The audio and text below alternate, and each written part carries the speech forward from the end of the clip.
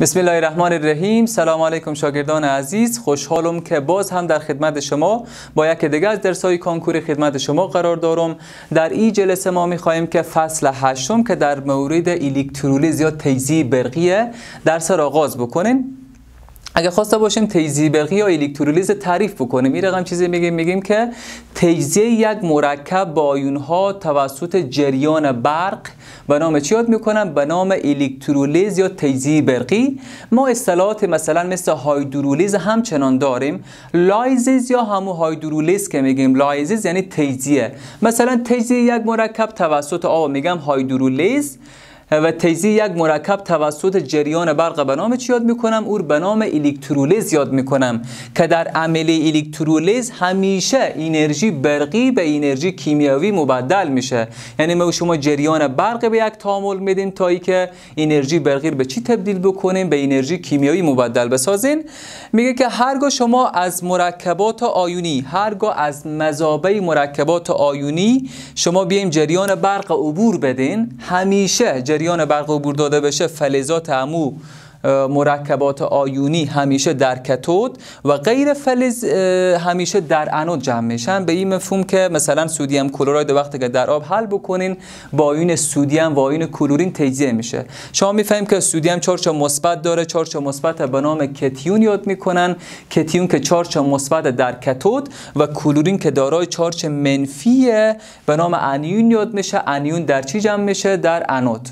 همیشه در کتود همیشه در کتود عملی ارجاع صورت می‌گیره و همیشه در انود تعاملات تعموزی صورت می‌گیره. های مهمی که الکترولیز در صنعت داره یک یکی با هم دیگر می‌خونیم که مثل تا از اینا رو به شما لیست کردم.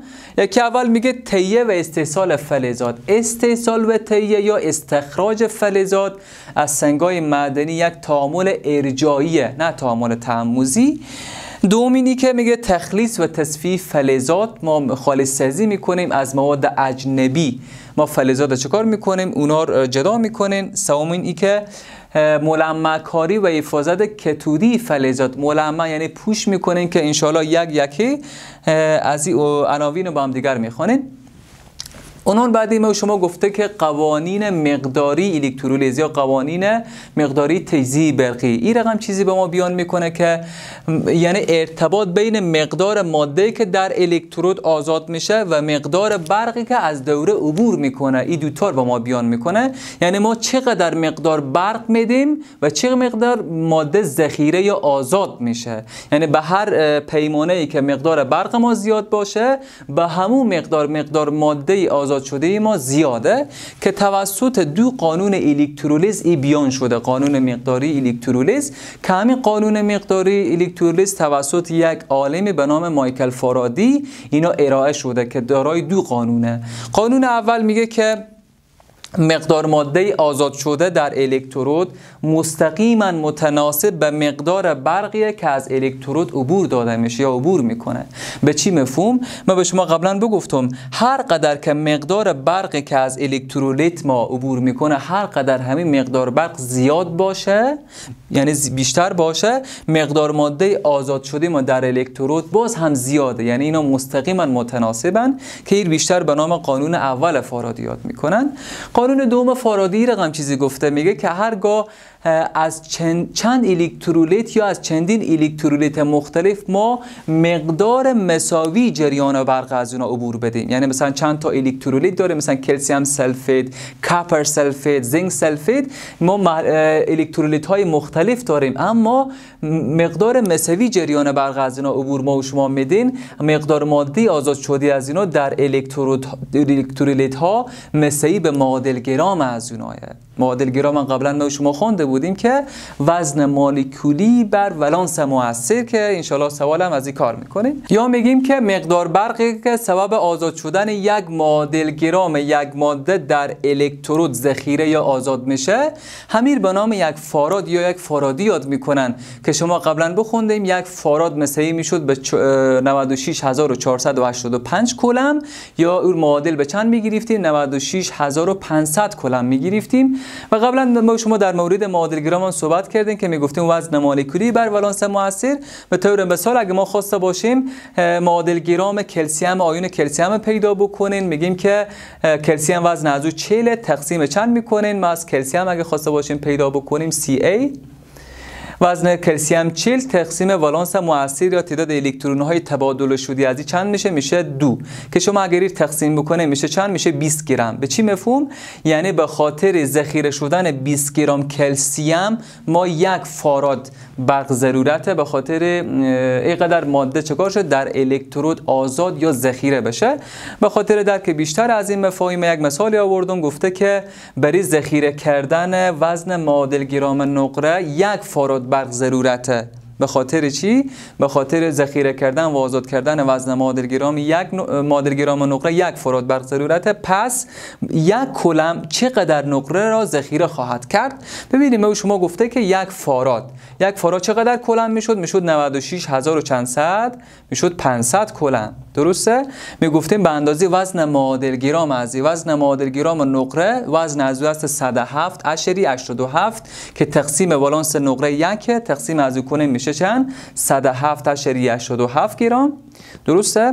میگه که برای پس برای یک کلم چقدر نقره ذخیره خواهد شد؟ برای یک کلم چقدر نقره ذخیره خواهد شد؟ شما اگر اینا رو ضرب و تقسیم بکنیم که سوالی که در داخل کتاب مکتب آماده اما ثبوت نکرده ای قیمت از شما بییم 107 شریعه شده 7 تقسیم 96500 بکنیم کلم به کلم خلاص قیمت از میشه 0.2 صفر 11 18 گرام میشه. خب شاگردای عزیز در این بخش می‌خواهیم که دریافت مقدار فلز یا مقدار ماده آزاد شده در الکترود ما دریافت بکنین. برای دریافت از روابط در داخل کتاب مکتب نیم. اینجا به شما ذکر کردم. این مثلی میشه A بر P ضرب در QE بر 96500 که در این روابط در این فرمول A مقدار فلز ذخیره شده. A وزن فلز بیان می‌کنه. P ولانس مؤثر. Q مقدار چارج و 96500 هم که عدد فارادی بود. قبلا صحبت کرده بودین. نظر به همین رابطه یک مثالی آوردین که با هم دیگر کار می‌کنه. میگه که از الکترولیز محلول کلسیم سلفید 48250 کلم برق عبور داده می شود. مقدار کلسیم ذخیره شده را در کتود دریافت کنید. به خاطر می‌فهمیم کلسیم میشه چارچوب مثبت. وقتی که حل بشه چارج مثبت کتیون در کتود ذخیره میشه یا جذب میشه. اگه ما خواسته باشیم مقدار کتله از این ما پیدا بکنیم مقدار فلز ذخیره شده رو ما دریافت بکنیم میگیم این مثلی میشه. مقدار A A گفتیم چیه؟ وزن فلز. فلز ما در اینجا کلسیمه. وزن کلسیم میشه چند؟ میشه 40 تقسیم پی. پی اس ولانس موثر ولانس موثر قبلا گفتیم که فلز چون کلسیم به گروپ دوم قرار داره پس ولانس ازی است قیمتی و دو. گفته که 48250 کلم پس مقدار چارچ به ما و شما داده؟ 48250 تقسیم 96500 هم که عدد ثابته. شما اینا رو می‌تونیم با هم دیگر اختصار بکنیم. ایر که تقسیم ازی کنه میشه دو. ایران می‌تونیم که با هم دیگر خلاص بکنیم. میشه این میشه 20 20 هم با دو می‌تونیم خلاص بکنیم که قیمت حاضر شما قیمت آخر حاضر چند به دست بیاریم؟ میشه 10 گرم پس مقدار کلسیم ذخیره شده در کتود ما چند پیدا کردیم؟ 10 گرم یک رابطه دیگه هم که در داخل کتاب مکتب آمده گفته که برای تشکیل یک مول ماده ارجاع شده این فارادی برق ضرورته. پس برای ایجاد پی گرام ماده چقدر برق لازمه؟ من فقط می‌خوام رابطی از زیر به شما بنویسم. ببینین گفته برای تشکیل یک مول ماده ایجاد شده. یعنی برای یک مول چقدر فارادی برق ضرورته؟ این فارادی برق ضرورته. پس برای ایجاد پی گرام ماده برای ایجاد پی گرام ماده چقدر برق ضرورته؟ یعنی ما اگه خواسته باشیم مقدار چارچ از اینجا به دست بیاریم میگیم که Q مثل میشه به Q مثل میشه N ضرب F ضرب P بر میشه یک مول که شما در این رابطه اگه خواسته باشه مشخصات زیر بفهمیم. Q مقدار چارج N تعداد الکترون های تبادل شده. F عدد فارادی. P هست همو مقدار گرام ها مقدار گرام ماده و یک مول میشه وزن همو عنصر یا مرکب. در اینجا ما می‌خواهیم که یکی از موارد استعمال الکترولیز بخونیم که ما شما بو قبلا بگفتم مولمکاری فلزات و افاز افاظت کتودی فلزات ملمع کاری یعنی پوشکاری فلزات. فلزات پوش می‌کنن به خاطر چی؟ به خاطر جلادار شدن به خاطر درخشندگی به خاطر در مقابل فرسایش هوازدگی زنگزدگی از خود مقایمت بیشتر نشان بده. همیشه یک ماده ملمع شده نظر به ماده اولیه خوب مقایمت از او بیشتره. پس میگیم پوشاندن یک جسم فلزی بالای نازک از فلز دیگر را به نام چی یاد می‌کنن؟ به نام ملمع یاد می‌کنن یا ملمع کاری به خاطر چی ما ملمع کاری فلزات رو ملمع می‌کنیم یا پوش می‌کنیم ایجاد جلا درخشندگی افزایش مقاومت. شما فرض بکنیم که ما می‌خواهیم که مصر توسط طلا پوش بکنین پس طلا فلز نجیبه با ارزش تره اما مس فلز غیر نجیب تره نظر به چی کرده؟ نظر به چی کرده؟ نظر به طلا کرده. یعنی ارزش مس نظر به طلا کمتره.